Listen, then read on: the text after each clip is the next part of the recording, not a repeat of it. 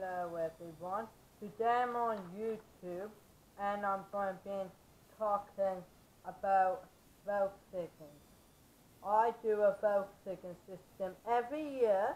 My first Volkswagen system was on the day May 17th, 2013, 2013.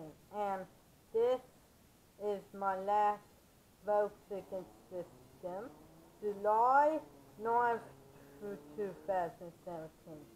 They make Volkswagens in Germany, and they started making Volkswagens on this day, May 28th, 1937, the first Volkswagen system.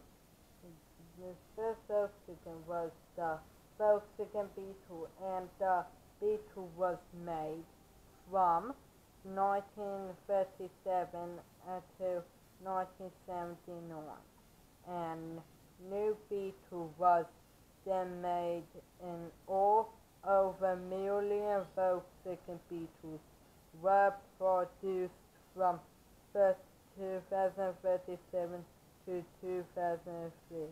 Uh,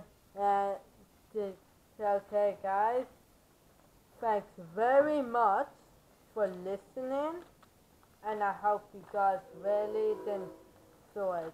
See you in my next video. Bye everyone. How